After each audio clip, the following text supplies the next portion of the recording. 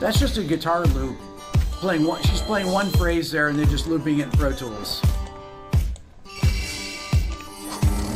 We call this a bed track, or just an instrumental that you write lyrics over. That's not to diminish anything about the writing. It's an incredibly well written song.